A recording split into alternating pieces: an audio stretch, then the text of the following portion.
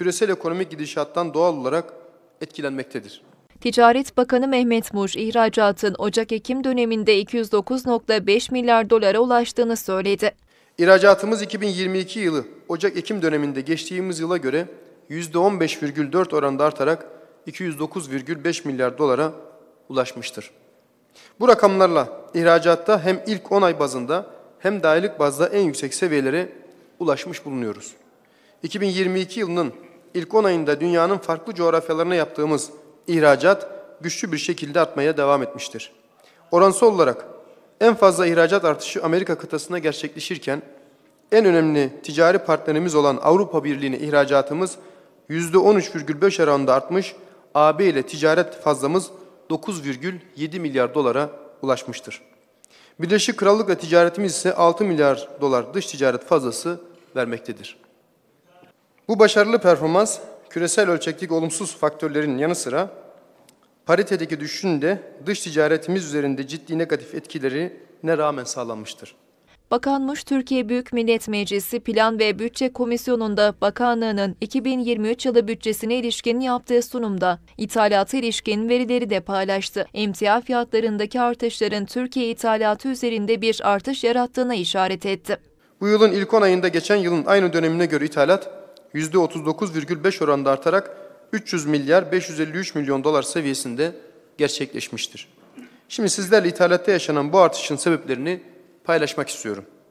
Öncelikle başta enerji olmak üzere emtia fiyatlarındaki artışlar, emtia ithalatçısı konumumuz emtia ithalatçısı konumunda olan ülkemiz ithalatı üzerinde doğrudan ve keskin bir artış yaratmıştır.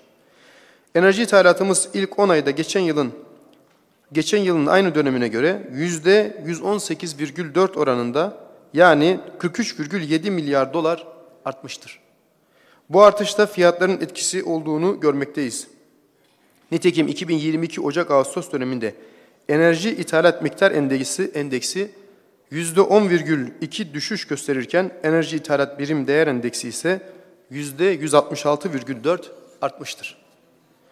Öte yandan son dönemde altın ithalatında yaşanan yükseliş de ithalat faturamızı önemli, önemli ölçüde artırmaktadır. Toplam altın ithalatı geçtiğimiz yılın ilk 10 ayına göre %198,4 yani 10,1 milyar dolar artmıştır. Bu yılda desteklerle ihracatçıların yanında olmaya devam ettiklerini belirten Bakanmuş, yeni modelle ihracatçıların yükünü ortadan kaldırdıklarını ifade etti. Mal ihracatı kapsamında 2022 yılında 13 bin aşkın firmaya 2 milyar 250 milyon lira tutarında destek ödemesi yapıldı. Yepyeni bir vizyonla ve bürokrasiyi de azaltarak tüm desteklerimiz Ağustos ayında yayınlanan ihracat destekleri hakkında karar ile tek bir çatı altında toplanmıştır. Öte yandan yeni bir prefinansman modelini de hayata geçirdik. Bildiğiniz üzere başvuru, inceleme ve tahakkuk süreçleri dahil edildiğinde faaliyet ile ödeme arasında bir süre geçmekte ve bu durum ihracatçılarımıza finansman yükü doğurmaktaydı. Bu modelle bu yükü ortadan kaldırıyoruz. İlaveten yeni nesil ticaret, ticaret modellerinde firmalarımızın daha fazla rol alabilmesi için hazırlanan e-ihracat destekleri hakkında karar Ağustos ayında yayımlanmıştır.